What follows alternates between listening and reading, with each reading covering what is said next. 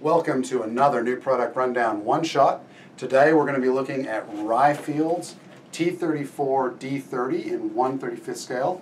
Syria upcycled some war surplus T-34s by fitting them with the D-30 120 millimeter howitzer and turning them into self-propelled artillery pieces. Artillery pieces, excuse me, I actually can't speak English. Artillery pieces. So let's take a look at this kit. Ryefield has been doing some nice armor kits here recently, and this looks like no exception based on the parts. You got a good looking lower hull with, uh, look at the weld details there, some uh, panel lines, suspension details, good looking top there.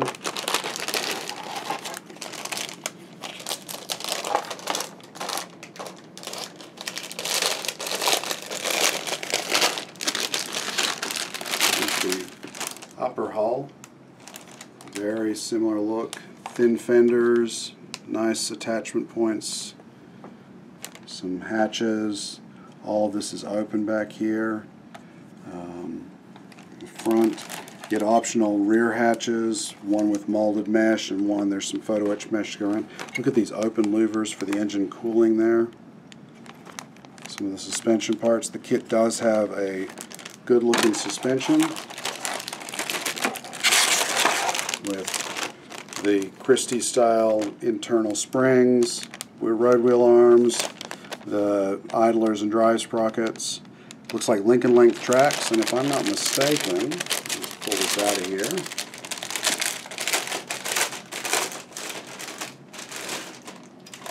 Yep, there's you can see it. There's sag molded in that upper run, so it goes over the top of the road wheels on the returns. Springs there. Those are good looking tracks. It's pretty nice. See what the road wheels look like. Oh, We've got separate tires for the road wheels. These are the dish style road wheels. Nice ball detail there, but then there are the tires that are separate, so it'll make painting just a little bit easier. Detail on the back sides as well. Separate hubs. Those are pretty sharp looking wheels.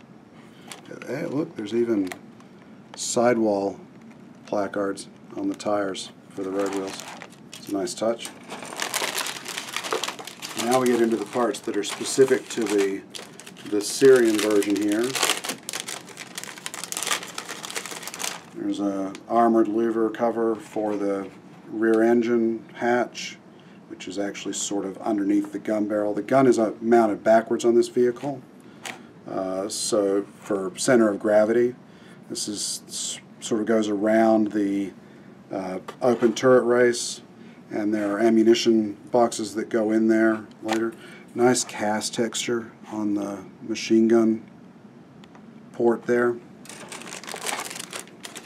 This looks like the ammunition boxes I was just talking about, as well as the platform for the gunners to operate from. So you got ammunition boxes that go around the vehicle. And there's those nice open uh, walkways for the gunners.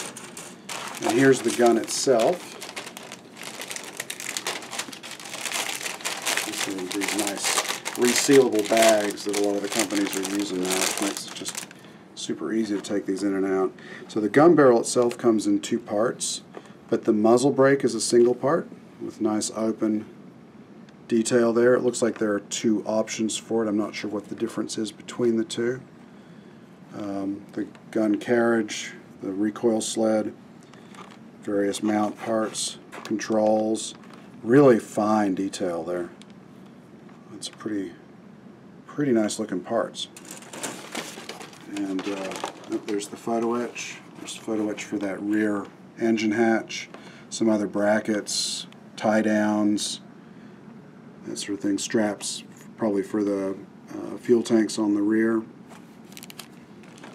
And then there are no decals here because apparently none of these vehicles actually had any markings, but you get two different options called out, one in an overall kind of desert tan or slightly gray tan color, and one in a nice camouflage option.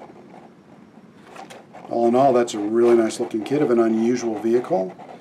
Uh, Mid-East wars are always popular with modelers, so that should be a popular kit. Check it out in a review in an upcoming issue of FineScale Modeler magazine. Thanks for stopping by.